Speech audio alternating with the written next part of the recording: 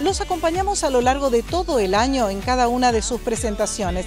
Por eso están incluidos en este anuario, Día Nacional de la Danza, una fuerte puesta en escena de Diarte.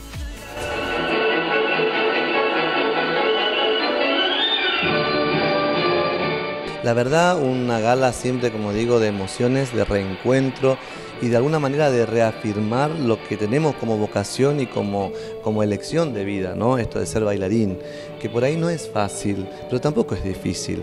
Y que decimos nosotros que lo que necesitamos es el apoyo de nuestra gente, de nuestra familia, de nuestros afectos, de nuestros amigos, que de alguna manera nos ayude a dignificar nuestra profesión como una profesión, como algo para vivir y no solamente como un hobby. ¿Por qué se recuerda el Día Nacional de la Danza? Eh, un grupo de bailarines, los mejores del Teatro Colón, no solo los mejores de Argentina, sino los mejores en esa época del mundo, este, viajaban a Chile para mostrar lo que sabían hacer este, y al despegar nomás cayeron en las aguas del, río de la Plata y perdieron la vida.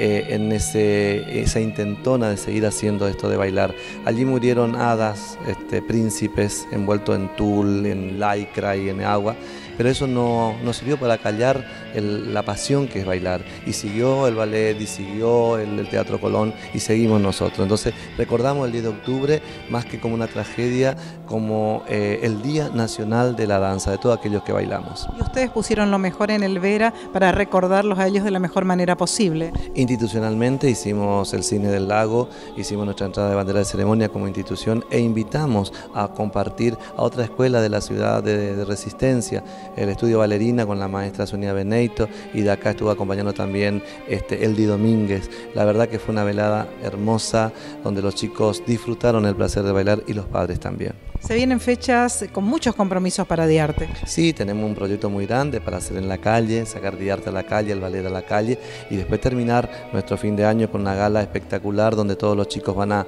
a mostrar una nueva historia, un nuevo despliegue de escenografía, de vestuario y de gracia y por supuesto los exámenes de fin de año y durante el verano ya estamos proyectando hacer los cursos. Gracias como siempre. No, gracias a ustedes y espero seguir en contacto y disfrutando de esto de bailar.